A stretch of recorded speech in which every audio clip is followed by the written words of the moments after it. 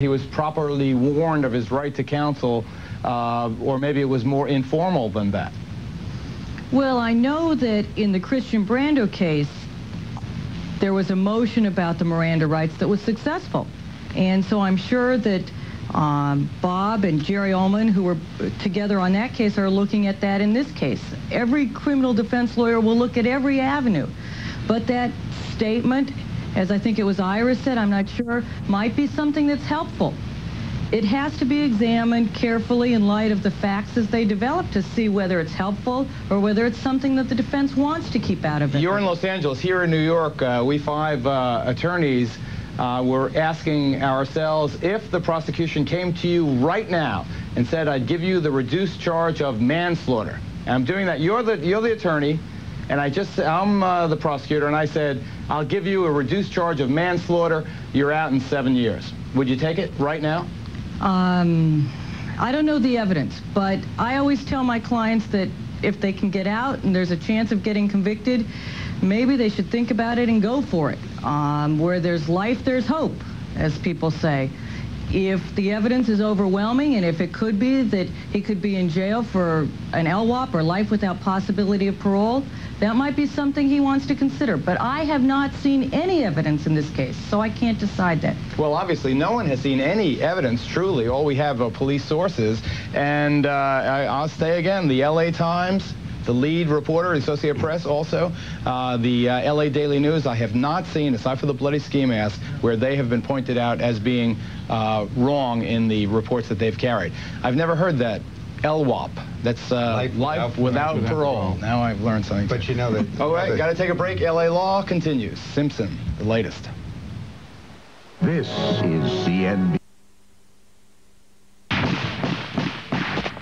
Just reaching the front line is a hazardous exercise. Boris Yeltsin's troops are firing as they advance. Only the work is not just dangerous, but gruesome. Whether there is to be an eventual assault from the sea is something we don't know.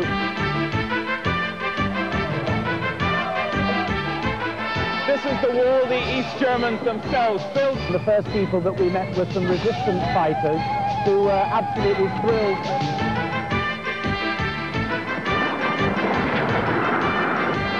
I saw hundreds of men rush forward along the decks.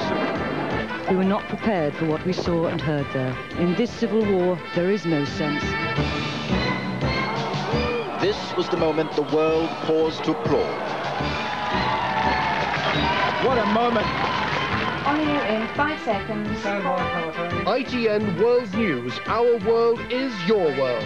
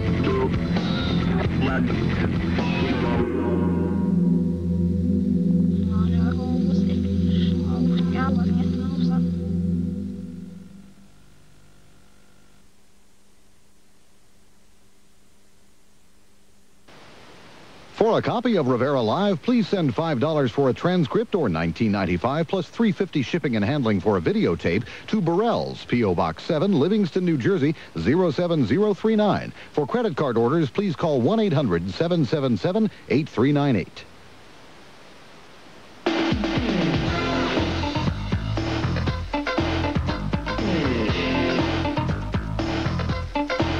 From the latest on the question of whether or not he could get a fair trial, uh, the question was asked by USA Today and CNN and the Gallup organization, are the charges against the OJ, OJ you characterize them, are they definitely true, uh, probably true, probably not true, or not true? Okay, definitely true, 10%. Probably true, 56%. Probably not true, 13%. Not true, 16%. 16%, don't you think, Barry No, no. a good place to start? means nothing.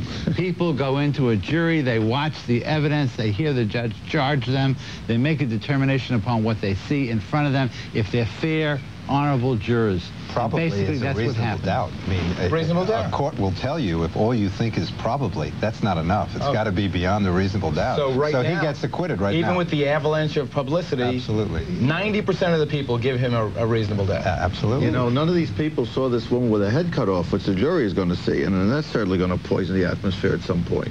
but also the defense can bring in her promiscuity alleged or whatever. Oh, yeah, that could Uh, backfire, though. Yeah, I you don't have think a that woman would with be missing wise. heads and chopped to pieces. That's that could backfire. You said something about the letter that was yeah, you know, the question nobody asked if he didn't do it, what was he committing suicide for? What did he write this letter for?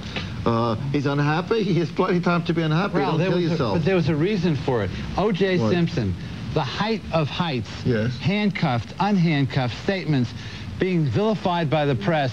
Here's a man who looked at his life and said it was coming to a close. He would never come away from the scandal. I understand suicide. Why? Plus the fact he lost someone that he loved. He ran on a football field where monsters were jumping all over him. He beat up a wife, and he's going to be frightened because some people said bad things about him to the degree he's going to kill himself and leave his children behind. He was gonna Psychological. kill himself probably, which we all know because he had a consciousness of his guilt. He thought they were closing in on him, and he killed himself. That's the only, and said he's going to kill himself. That's the only logical reason why anybody would do it. There is Unless no logic. stuck- There is unless no logic crazy. to O.J. Simpson's Janet Levine, mind. comment.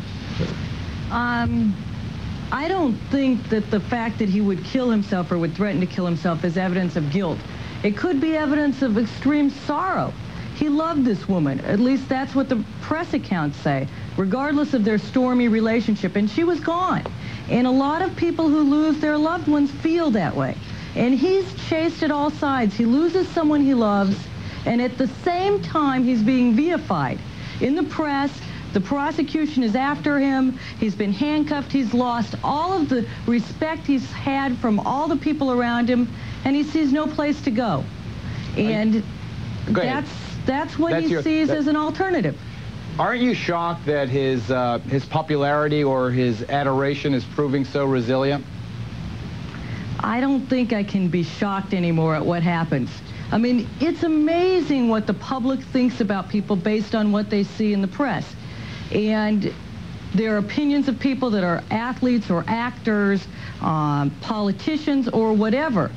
Um, people decide things based on their perceptions, in large part based on little bites in the media, and that's what he's being judged on. You know, years uh, and years of being a USC Trojan and a Buffalo Bill and in the Naked Gun series, and he's won the hearts, and it's hard to take that kind of adoration he has away from him, I guess. He didn't realize it. I doubt his lawyers realized it until that kind of drive through Los Angeles and Orange County on that Friday. With all the people cheering him on.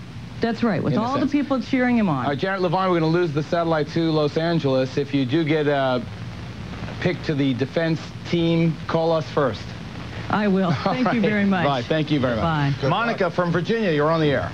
Um, hi, Geraldo. Hi. I, I really enjoy your program. Thank you. But the one thing I wanted to say is I agreed with Janet. I just moved back from California to Virginia, and I lived in Marina Del Rey. And there was I had a hard time making that 11:45 flight when I would leave at 11 o'clock. There is no way he could make it from Brentwood to there. Oh, I I've just made that trip. I've made that trip a hundred times, and I've made it in uh, in 15, 20 minutes. Then, then I tell you, the getting through the airport uh, may have been his severest challenge. Hillary from Connecticut. watch your step. You're going to get Um, subpoenaed. I'm going to get subpoenaed to trial. Okay, Hillary from Connecticut. Hello? Hi. Hi. Um, my question is, if the defense goes for a not guilty plea and things don't look good midway through the trial, can the defense switch to a plea of insanity?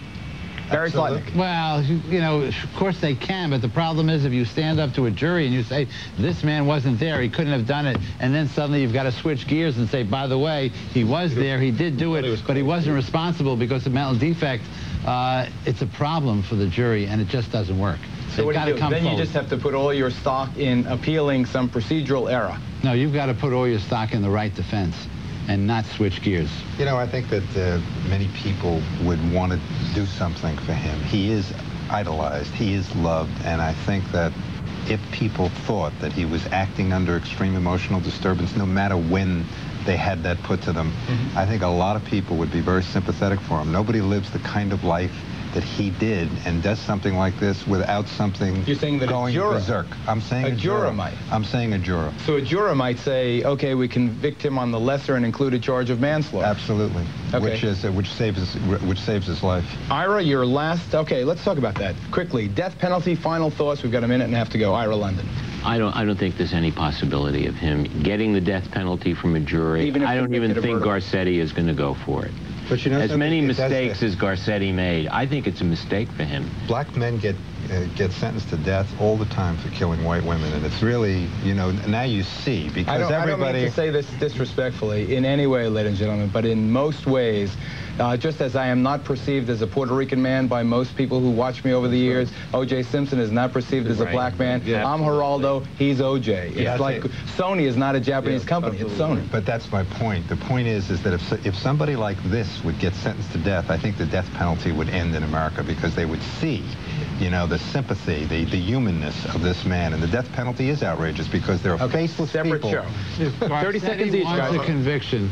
If Garcetti wants a conviction, he is not going to ask for the death penalty. If he does, he will turn off the jurors. Raul. The, the only attractive thing about all this is what you say, Geraldo. There's no racial overtones or, or connotations about this. It's very Except good, on I the think. Time magazine cover. But Oh, but uh, wait, wait, that was serious. But the, that's for the best. Uh, the chances of him getting the death sentence are the same as you and I getting a rocket ship or going to the moon. It ain't going to happen. Ain't gonna happen. Okay, Dominic Barbara, the uh, noted attorney uh, who represented uh, uh, Joey Buttafuoco and Jessica Hahn is on the phone. But Dominic, I have no time to talk to you tonight. I just wanted called. to comment that I did. You got 20 seconds. Go ahead, Dominic. I found a lawyer in Queens who hasn't been interviewed yet about this. Is there anyone left? And I predict in the future the lawyers in California are going to be fighting each other. Fighting each other. Well, maybe the people could do it on pay-per-view and uh, get a, a ratings uh, record out of it. Gentlemen, thank you very much. We on uh, on Rivera Live here at CNBC will continue to follow developments in this case as they warrant. We'll give you a total wrap-up on that, the schedule, that preliminary hearing. Tom Snyder is next. Thank you, my guests. Thanks for watching. See you next time. Bye-bye. Next.